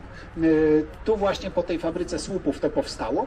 Mm, No właśnie. I o tej, o tej kamienicy to w zasadzie tyle, bo tutaj najważniejsza rzecz to jest tam pod numerem 41 i tam sobie właśnie podejdziemy. A tu tutaj widzą takie e, Państwo e, taką kamienicę, której e, nie bardzo wiadomo kiedy, kiedy powstała, ale tak z formy widać, że to tak ostatnie, znaczy pierwszy dziesiątek lat XX wieku. Może w latach dwudziestych też jeszcze takie kamienice powstawały. Natomiast sama kamienica w 1939 roku była własnością BGK, Banku Gospodarstwa Krajowego. Państwo kojarzą, do dzisiaj istnieje ten bank. To był bank oczywiście państwowy. No i przypuszczalnie mm, przejął ten bank e, tę kamienicę po prostu za długi. E, No i e, w tym gmachu, e, proszę Państwa, e, mieszkała e, w okresie okupacji e, taka e, bardzo znana na całym świecie e, e, pamiętnikarka Mary Berg się nazywała. Otóż proszę Państwa, tak naprawdę, znaczy ona później tak się nazywała, bo pierwotnie to się, mm, to się nazywała Miriam Wattenberg. E, Urodziła się w 1924 roku e, i na, była związana z Łodzią, skąd był jej ojciec, ale zaraz na początku wojny po prostu przyprowadziła się do Warszawy, tutaj właśnie, do tej kamienicy, w zasadzie można powiedzieć jako nastolatka. I od października 1939 roku zaczęła pisać pamiętniki, które doprowadziła aż do wiosny 1944 roku.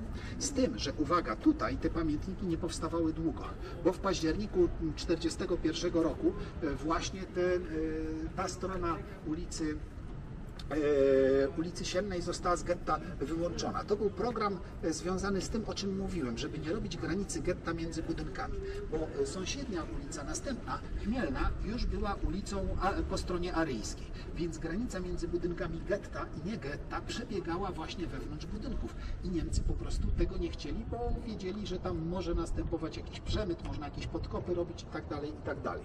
E, No i właśnie e, teraz wracając do Mary Berg, e, musieli się przeprowadzić na ulicę Chłodną, gdzie do e, 44, e, przepraszam, e, nie do 44, tylko drugiego roku mieszkała, bo tuż przed samą akcją wielką, która się zaczęła tak naprawdę, proszę Państwa, nie 20 lipca, tylko 21 lipca 42 roku, mm, dosłownie kilka dni wcześniej, 17 lipca, została aresztowana i umieszczona na Pawiaku przez Niemców, ale proszę Państwa, po coś? Bo ona była obywatelką amerykańską, jej matka miała obywatelstwo amerykańskie i tutaj, żeby się uchronić przed Niemcami, na drzwiach e, mieszkania był, był napis e, właśnie e, obywatelka Stanów Zjednoczonych. No i rzeczywiście z zapędy różnych Niemców to troszeczkę hamowało. I teraz, proszę Państwa, co się dzieje? Otóż e, ona została tam osadzona po to, żeby przez tak zwany hotel polski przy ulicy Długiej e, wylądować e, we francuskim obozie koncentracyjnym, gdzie do 1944 roku aż ją trzymano, po czym wymieniono ją na jeńców niemieckich. Była taka wymiana, Niemcy celowo pewne osoby zam, zamykali tutaj, żeby mieć na kogo ich po prostu wymienić. I proszę Państwa, jej pamiętnik, który prze, mm, że tak powiem, przemyciła aż do Stanów Zjednoczonych, gdzie dotarła w tym 1944 roku, został w 1945 wydany w tłumaczeniu na angielski. Oczywiście, proszę Państwa, to był pierwszy y, pamiętnik pokazujący Holokaust, wszystko to, co tutaj się y, działo y, z punktu widzenia osoby, która to po prostu na własne oczy widziała. Ja tutaj pozwolę sobie odczytać kilka fragmencików z tego, co ona napisała. Na ulicy y, przy naszej bramie często zjawia się młoda kobieta i śpiewa. Jest niespełna rozumu. Wczesnym rankiem dolatują mnie słowa jej żałosnej piosenki. Gwizdże lokomotywa, żegnaj kochany, bądź szczęśliwy. Na zakończenie piosenki pociąg znika, a dziewczyna czeka na ukochanego. Kobieta jest córką bogatego i znanego warszawskiego kupca. Podczas bombardowania jej dom spłonął, a jedyny brat zginął w płomieniach. Wyskoczyła z drugiego piętra na rozpiętą sieć, lecz w rezultacie, bo wtedy nie było poduszek, tylko siatki strażacy mieli. Mm, Lecz w rezultacie doznała szoku. Jej matka cudem ocalała. Obecnie dziewczyna śpiewa przysiennej. Wszyscy mieszkańcy przy tej ulicy znają dziwne słowa jej śpiewki o pociągu i powrocie ukochanego. 26 czerwca 41. Piszę te słowa w schronie przeciwlotniczym w naszym domu. Mam nocną wartę, ponieważ należę do domowej ochrony przeciwlotniczej. Rosyjskie bombardowania zdarzają się coraz częściej. Znajdujemy się w niebezpiecznym miejscu niedaleko dworca głównego. Wybiła 11. Siedzę przy lampce karbidowej. Pierwszy raz od rozpoczęcia działań wóz zbrojnych między Rosją a Niemcami mogę coś napisać. Ta wieść wywołała olbrzymi szok. Wojna między Niemcami a Rosją. Kto mógł się spodziewać, że nadejdzie tak szybko? I jeszcze, proszę Państwa, a propos wyłączenia e, siennej. Na Siennej mieszkają bogaci Żydzi. Grozili, że ulice wyłączą z getta. Mieszkańcy kamienic co jakiś czas płacili okup, by nie wyłączać ich ulicy z getta. Nadaremnie. O zmianie granicy getta wzdłuż Siennej w swoim dzienniku pisała e, właśnie e, e, tak Maryberg. Wczoraj przed zachodem słońca w porze modlitw Kol Nidre otwierających rytuały święta Jom Kippur rozwieszono wielkie białe płachty ze smutnym obwieszczeniem. Do 5 października osoby zamieszkałe po prawej stronie ulicy Siennej muszą opuścić mieszkania. Tak oto ziściło się to, czego się wszyscy obawiali. Okup zapłacony przez mieszkańców okazał się daremny. Najpierw wybuchła panika, lecz gdy zapadła noc, piwnica w naszym domu wypełniła się wiernymi i dało się słyszeć stłumione lamenty.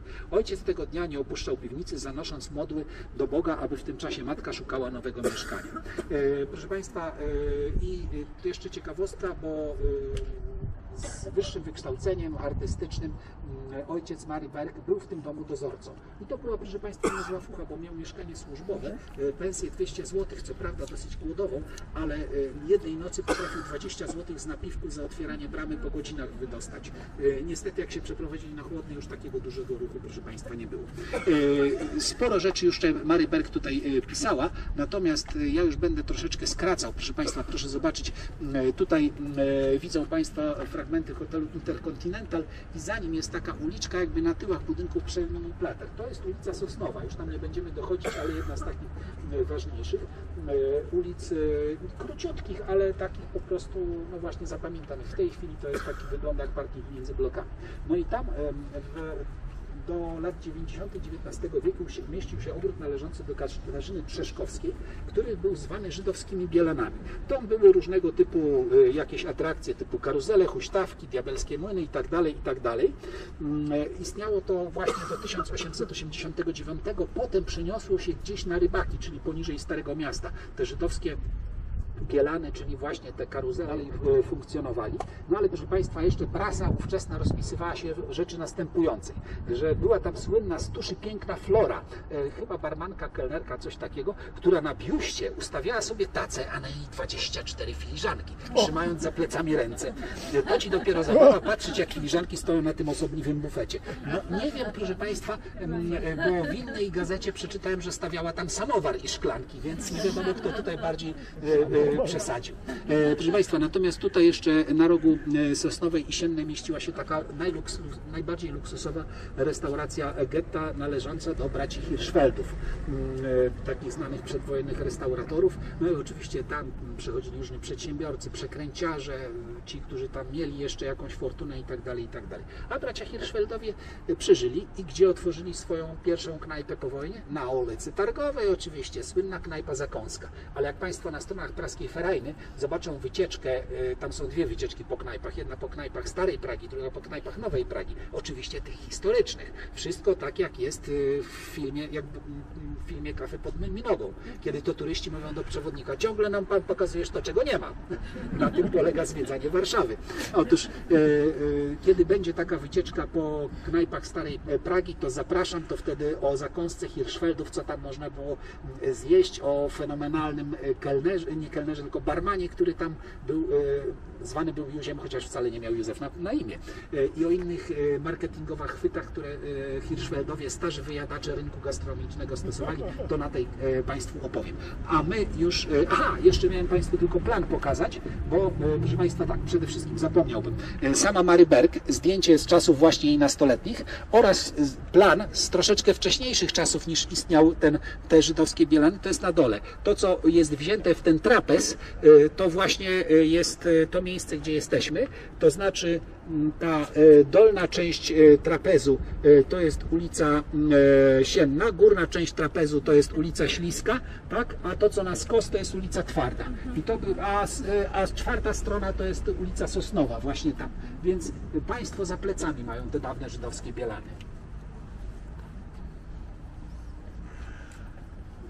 Bielany bielanami, ale te flory to każdy zapamięta, prawda? Znają Państwo e, bajkę o gołębiu. Gołębiustem by zwabiła. Dobra, proszę Państwa, chodźmy. O, prostu.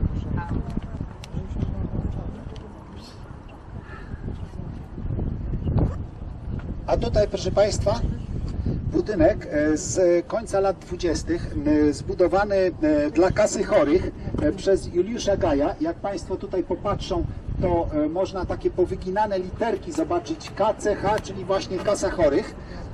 Natomiast w latach e, 30.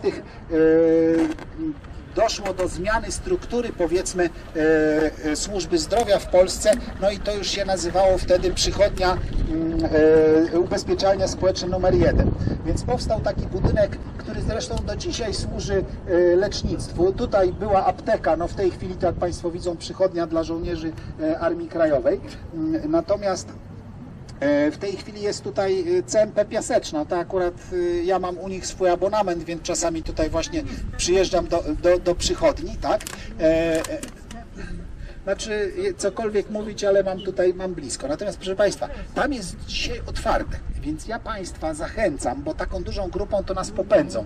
Ale jak skończy się wycieczka za jakieś 3-4 godziny, e, to Państwo mogą sobie tak spokojnie tam w niewielkich grupach zajrzeć do środka. E, Bardzo ładne posadzki są i bardzo piękne kolumny, kiedy się wejdzie do recepcji. Oczywiście tam na górę też można się e, przedostać, także zachęcam.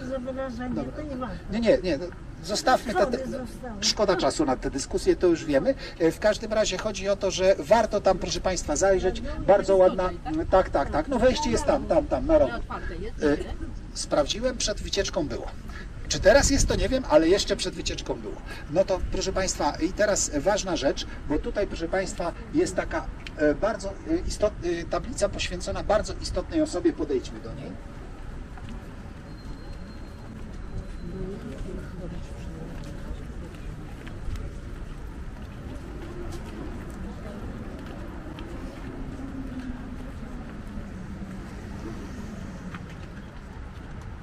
E, Proszę Państwa, e, e, otóż e, tutaj e, jest upamiętniona e, Luba e, Bielicka e, po mężu Blum, która była szefową szkoły, dyrektorką szkoły pielęgniarek przy szpitalu żydowskim na Czystym. To jest ten szpital przy Kasprzaka, powiedzieli, powiedzielibyśmy dzisiaj. On powstał jako szpital żydowski.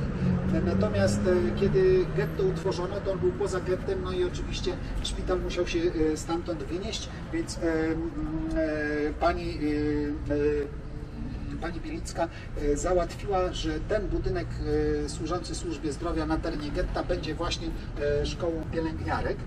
Natomiast dzięki temu udało się e, to szkolnictwo dalej e, utrzymać. E, I e, dosyć istotna sprawa, mm, otóż e, kiedy te pielęgniarki zostały e, przez Niemców jakby e, przeznaczone do tego, żeby pojechały z dziećmi e, z sierocińca Janusza Korczaka, e, no właśnie, wszyscy, ona sobie zdawała sprawę, że, ja, że to jest e, wyprawa na śmierć. Ona wytłumaczyła Niemcom, że te pielęgniarki w celu powstrzymania epidemii i tak dalej mogą jeszcze tutaj być e, potrzebne. I Niemcy ich na śmierć nie wysłali, co je ocaliło. E, Po jakimś czasie mm, właśnie mm, ta szkoła jeszcze zmi- zmieniła mi- miejsce, no nie zmieniła miejsce, tylko, przepraszam, podległa takiemu właśnie y, kolejnemu niebezpieczeństwu y, właśnie wysłania do obozu zagłady tych pielęgniarek. Y, To było w styczniu 1943 roku, no ale mm, e, pani Bielicka wiedząc o tym też udało, udało jej się ten personel poukrywać. No niestety jakiś czas później większość pielęgniarek niestety zginęło. Jej samej udało się e, ukryć e, po aryjskiej stronie, podobnie z dwójką jej dzieci. Natomiast jej mąż, który był żołnierzem żydowskiej organizacji bojowej, pozostał w getcie, e, e, no i wyszedł po powstaniu w getcie z tego e, ukrycia, ale niestety przez Niemców został złapany i zamordowany. Ona sama po wojnie nie wyemigrowała do Izraela w odróżnieniu od, od jej córki, uznała, że w Polsce jest tutaj jej miejsce i była, dostała propozycję pracy w szpitalu, e, w domu dziecka e, w Otwocku, no i mm, stworzyła tam takie e, miejsce dla żydowskich sierot głównie.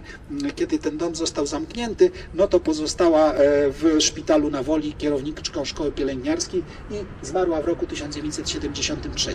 Ale ciekawa rzecz, bo ona pochodziła z ortodoksyjnej rodziny, gdzie uznawano, że kobieta nie potrzebuje się kształcić, a nawet nie powinna. Mimo to uparła się i skończyła gimnazjum, no i to wydawałoby się, że już jest wszystko, e, co jeszcze udało jej się wynegocjować, bo potem już, kiedy ch- chciała pójść do szkoły pielęgniarstwa, no to już absolutnie rodzina nie chciała się na to zgodzić, więc ona z Wilna, z którego pochodziła, e, po prostu uciekła do Warszawy, tu poznała swojego przyszłego męża, no i została dyrektorką szkoły pielęgniarek. Także proszę pamiętać, że ten konserwatyzm też ma różne takie e, strony dla nas trudne dzisiaj do przyjęcia.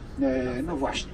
Proszę Państwa, my sobie popędzimy dalej, bo jeszcze za, e, wejście, e, to znaczy w tej chwili wejście główne jest teraz tak. E, Mamy 12.59, więc teoretycznie powinniśmy zakończyć spacer, proszę Państwa. I może zróbmy tak, bo pan Sylwester z Cafenero prosił mnie, żeby spacer zakończyć właśnie po dwóch godzinach. E, Więc ja go zakończę. Ale kto by chciał jeszcze e, na epilog na placu Grzybowskim pójść, taki kilkunastominutowy, zaznaczam, nie za długi, to oczywiście zapraszam. Dobrze, to żeby stało się zadość, e, to ja o tej godzinie 13. Proszę zanotować i przesłać SMS-em, że się skończyło. Ogromnie Państwu dziękuję za uczestnictwo, gadania oraz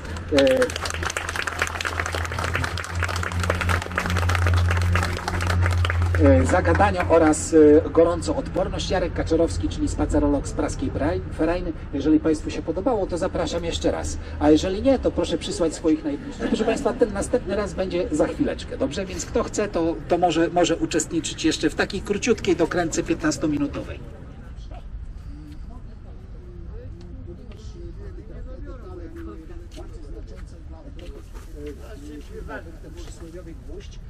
Y, było takie powiedzenie warszawskie, znaczy tyle co gwóźdź u prywesów, czyli pozornie drobna rzecz, a jednak taka, e, która jest decydująca o czymś. W tym momencie no, mówi się o sukcesie e, biznesu. No ale proszę Państwa, e, tym, który zdobył takie wielkie powodzenie, był Laser Prywes, który raczej używał innej firmy Loser Prywes. To teraz młodzież mówi, ale loser.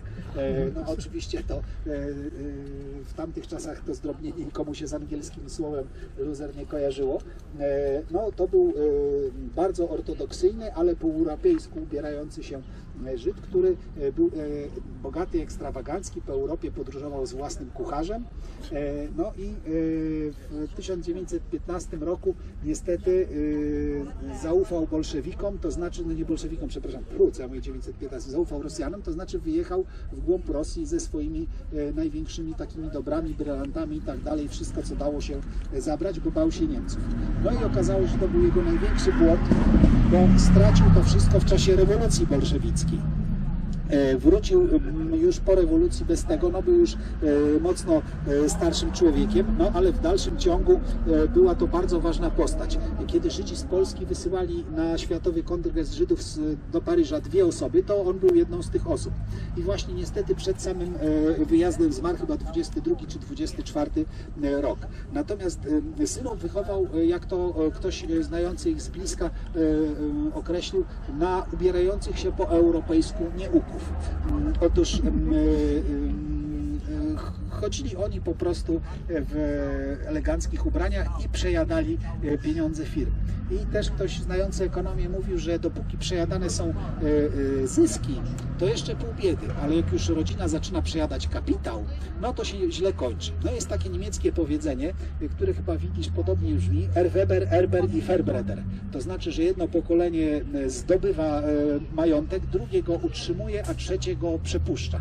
No i to właśnie był taki e, przypadek, e, kiedy właśnie e, wnukowie to stracili. Natomiast proszę Państwa, e, jest taka historia związana z tym, że kiedy Luzer Prywes zmarł, e, to jego syn Abraham kiedy zjawił się po śmierci oczywiście tego luzera Pryfesa adwokat, e, bardzo znany adwokat Ettinger, Ettinger zresztą e, pochodzenia żydowskiego, e, to ten mm, powiedział, że e, w ogóle co spisać majątek? Przecież to wstyd, że w ogóle nie wolno takich rzeczy robić, to przecież prawny obowiązek adwokata jest. No i oczywiście tego nie spisano. E, e, ale e, no, Ettinger został, że tak powiem, od tego oddalony. Ale co się stało? Kiedy pozostali bracia się pojawili tutaj, żeby też dochodzić swoich praw, to ten Abraham po prostu e, z e, laską ich ganiał tutaj po, po tym, po całym placu Grzebowskim, nie chcąc ich dopuścić po prostu do domu, gdzie właśnie leżały zwłoki ojca. No, zrobiła się wielka afera, e, e, e, Ruben Halewi ich dopiero, e, ich e, szwagier jakoś tam e, pogodził. No i właśnie mm, ci, te dzieci e, E, te dzieci Prywesa chodziły do takiego znanego gimnazjum Kreczmara na Wilczy. Jak ktoś tam dobrze poszuka, to jeszcze resztki budynki tego Kreczmara są. To gimnazjum miało taki sprytny pomysł, e, że właśnie dzieci żydowskich e, bogaczy kształciło tam za duże pieniądze, a dzięki temu e, mieli możliwości e, kształcenia e, polskich dzieci chrześcijańskich, w sensie tym, że dawano im bardzo duże ulgi wczesnym i te dzieci mogły też kończyć bardzo dobre e, licea. No i właśnie tak to, e, tak to było. No i proszę Państwa, potem, e, kiedy prywesowie e, już e, odpadli, to kolejnym e, pokoleniem był Julian, znaczy, przepraszam, kolejną rodziną, która stanęła tam wśród tych dominujących na rynku handla handlu żelazem, był Julian Glass. To był człowiek, który właśnie uznanych Państwu już architektów, mm, to znaczy Gelbarta i Sigalina, zamówił kilka kamienic, między innymi przy Chorzej, e, przy mm, Kredytowej i przy Lwowskiej e, właśnie. E, To już inna rodzina ten handel żelazem e, przejęła. No i proszę Państwa, w takim razie jeszcze tak na zakończenie, na sekundkę staniemy sobie e, przy ulicy Próżnej, e, przy wylocie dwa słowa o tym powiem i to już będzie fajrant.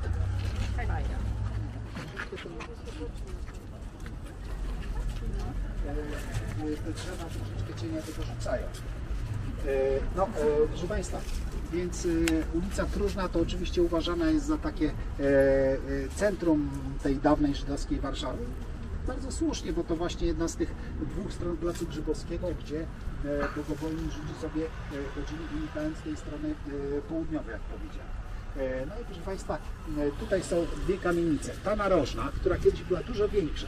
Proszę popatrzeć na ten blok, więc ona kiedyś e, miała skrzydło od strony grzybowskiej takie właśnie jak ten blok. Ta kamienica z 1900 roku, która należała do takiego kupca metalowego Majera Wolanowskiego.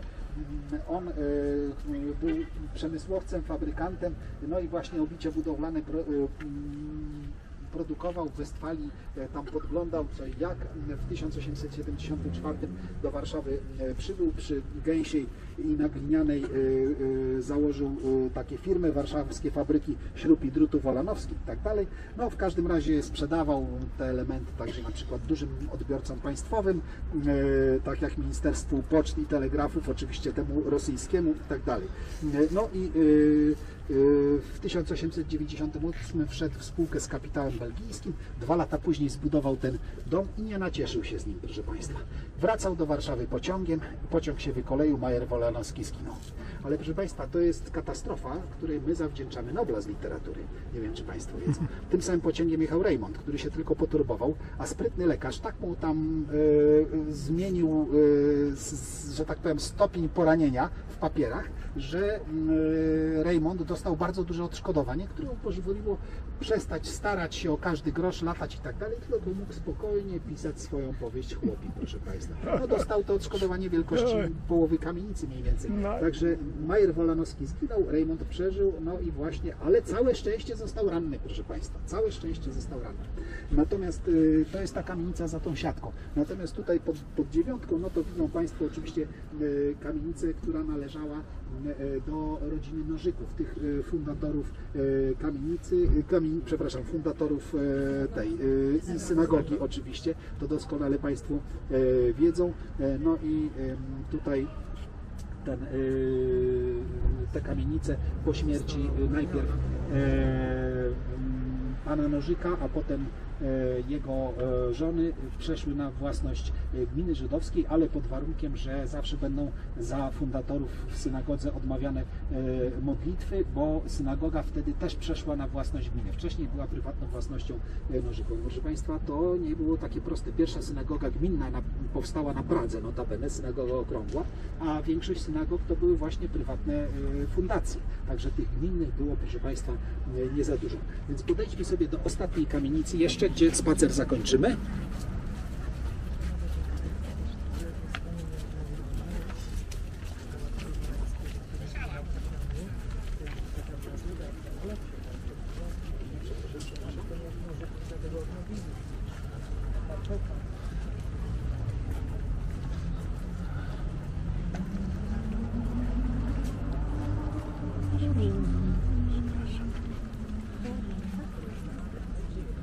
No, proszę Państwa, tutaj widzą Państwo, uwaga, rekord zawsze. E, otóż e, jest tutaj e, zestaw tabliczek, e, ale proszę Państwa są to oczywiście atrapy, tu nie ma e, autentycznych z wyjątkiem tej współczesnej i chyba tej z czasów PRL.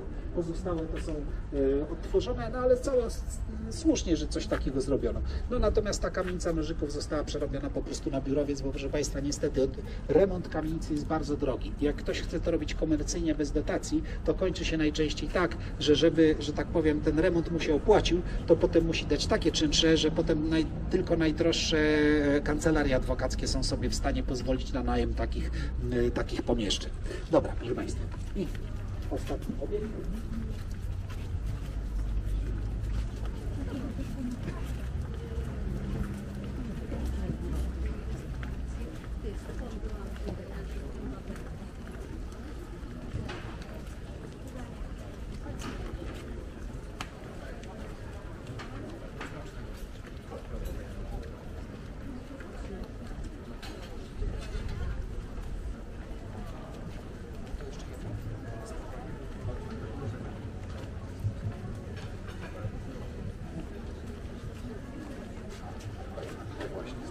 Stanie tutaj.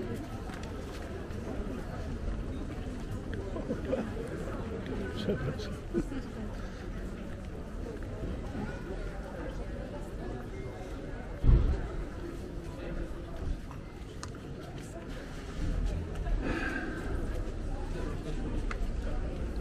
E, Proszę Państwa, a tutaj jest kamienica należąca do Neufelda, właśnie do tej rodziny Neufeldów, która wcześniej handlowała żelazem, zanim e, z, z rynku, że tak powiem, z, czy raczej stroną tych najważniejszych wypchnęli ją e, prywesowie. E, no i e, ta kamienica została zaprojektowana e, właśnie już na pewno przez, a właśnie, bo to przecież ulica, mi się wydaje, że to deptak. Mm, ale proszę Państwa, przepuszczamy za flaszkę. E, otóż e,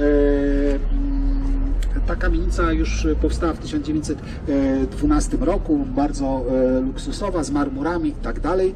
Zaprojektowali ją właśnie Józef Napoleon Czerwiński i e, Wacław Hepen. To już wspomniałem, teraz e, o tej kamienicy akurat to wiadomo e, na pewno. E, Natomiast e, e, tutaj e, kto mieszkał, proszę Państwa? E, e, Parę takich znanych osób tutaj e, e, mieszkało, e, więc e, najważniejsza e, z nich oprócz Chaima Gerkowicza, takiego przedsiębiorcy, powiedzmy producenta, handlowca i producenta, uwaga, beretów i innych nakryć gło- głowy, e, mieszkał tutaj, proszę Państwa, e, Abraham Gepner ze swoją żoną. On się urodził w 1872 roku, zginął w 1943 roku w getcie, natomiast był to przedsiębiorca handlujący e, metalami nieżelaznymi. Tak jak mówiło się, że e, Grzybów handluje żelazem, no to tutaj nikiel, mosiąc, stopy typu e, brąz, e, etc. były na porządku dziennym. No i oprócz tego był też bardzo ważną osobą w zgromadzeniu w Związku Kupców, w centrali Związku Kupców był wiceprezesem Warszawskiej Izby Przemysłowo-Handlowej, społecznikiem i kiedy getto powstawało, przepraszam, jeszcze nie getto. 39 rok, e, rozmowy kapitulacyjne i Niemcy żądają 10 zakładników. E, Stefan Starzyński oczywiście jako jeden się zgłosił i Gepner zgłosił- się również jako zakładnik w ręce niemieckie, że jeśli w razie jakiegoś buntu dojdzie ataku na niemieckich żołnierzy, to oni dają głowy za to. E, Natomiast kiedy utworzono getto, Gepner bardzo nie chciał, ale go przekonano, żeby został tym y, w Radzie Gospodarczej y, kierownikiem czy dyrektorem y, czegoś, co się nazywało Zakład Zaopatrzenia. Czyli po prostu wszystkie te, ta cały oficjalny całe oficjalne zaopatrzenie dla, dla no głównie żywność, które e, przychodziło, to przez jego ręce. Otóż Gepnera wybrano, e, jak e, wspominano, dlatego, że po pierwsze był uczciwy, a po drugie był bardzo bogaty, więc e, nie tylko gwarantowało to, że nie będzie nic tam dla siebie e, robił, ale też, że nie będzie podejrzeń, że coś tam e, robi właśnie dla siebie czy dla swojej rodziny. E, No i e, zginął tragicznie, bo któregoś razu właśnie już na Umschlagplatz był odwieziony i, i, wrócił stamtąd, udało się żywy, ale niestety jego żona nie. Natomiast e, e, zginął potem jeszcze w 1943 roku. Ale proszę Państwa, wspominałem o Izabeli Gelbart, czyli Stachiewicz, e, e, czyli Czajce, e, żonie e, Gelbarda.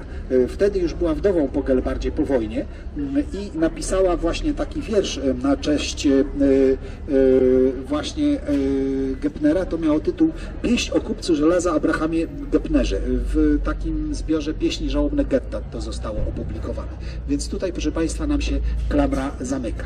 E, Proszę Państwa, więc e, tylko jeszcze mam dla Państwa taką małą pracę domową. Proszę obejść ten budynek od tyłu i zobaczyć mural mojego ulubionego artysty Tytusa Brzozowskiego, gdzie można zobaczyć różne elementy y, woli, architektury woli, także architektury żydowskiej na przykład, ale też wielka synagoga nad Łomackiem tam jest. Y, Mój kościół ewangelicko-reformowany też jest dobrze widoczny. Y, Notabene wielu y, pochowanych na cmentarzu ewangelicko-reformowanym to wychrzczeni Żydzi. Y, To ci, którzy nie bali się, że będą chodzić do kościoła, który wygląda jak interes, co zaraz ma zbankrutować. To Państwo kojarzą z, ziemi obiecanej ten słynny tekst. Też Rejmonta, już o Rejmoncie mówię.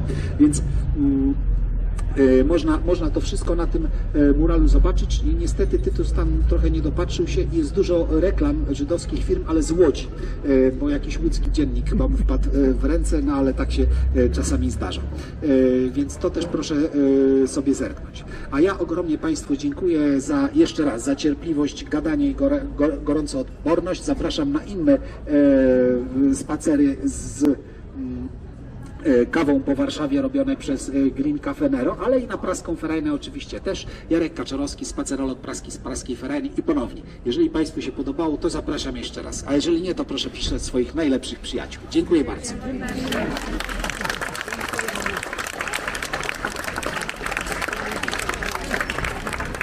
No to tam na stronach praskiej Ferrari jest mail, może podesłać link do albumu, chętnie opublikujemy. I wtedy zdobywa się dużo sławy, bo mamy dużo y, odsłon wtedy.